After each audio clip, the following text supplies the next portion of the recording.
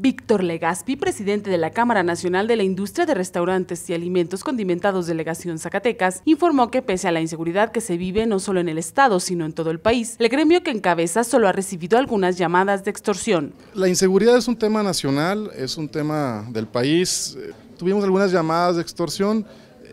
pero no ha pasado a mayores, dado que la respuesta ha sido inmediata por parte de la Procuraduría General de Justicia y el procurador, siempre sensible con el sector, le ha dado la comunicación y el canal para decirles estamos con ustedes y estamos listos para atenderlos. Aseveró que la respuesta de las autoridades de seguridad ha sido oportuna, con el fin de prevenir algún delito mayor que pueda sufrir cierto afiliado a dicho organismo. Finalmente la Canirac ha trabajado muy de la mano con el procurador, tenemos un canal de comunicación muy abierto con el procurador, el procurador personalmente atiende las, las peticiones del sector, hemos tenido algunas incidencias menores y el procurador de manera personal le ha dado atención, entonces el, sector restaurantero se siente, se siente respaldado por el tema de seguridad. Con imágenes de Alberto Hernández para 20 TV Noticias, Alejandra Márquez.